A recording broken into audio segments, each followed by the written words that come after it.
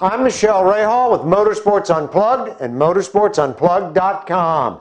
It isn't news that NASCAR mandated smaller restrictor plates prior to today's duels.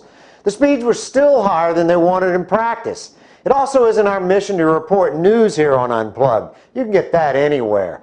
What does the incremental restrictions mean to the race? That's what we want to talk about. Nobody's going to notice the reduction in speed because it really doesn't reduce it by much. You'll also won't notice a huge difference in the two-car drafts in their ability to gain runs on other cars. What you will notice is that they can only draft for short periods of time, maybe three, three and a half laps. And that's added another element to the game. Think of it as a push to pass button, only everybody's going to push it at the same time in the closing laps. The speeds are still right at the 200 mile an hour level, and don't be surprised if NASCAR doesn't go for another air restriction based on what we see today.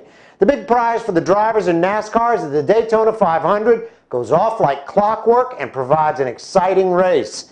We won't know exactly what package they'll have until after today's qualifiers, but you can bet whatever it is, the two-car drafts are a product of the new track, and that means that right now, more wheeling and dealing between the teams is going on than a foreign policy meeting between the White House and Congress.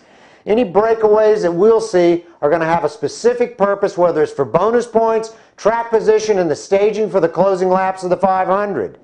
The net of all this is that it's the perfect setting for NASCAR's biggest race. The track is completely unique now.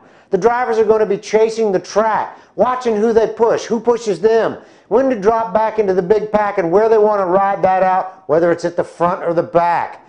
Whatever happens today, expect it to be closer to what we're going to see on Sunday. I hope it's all that it looks like it's going to be.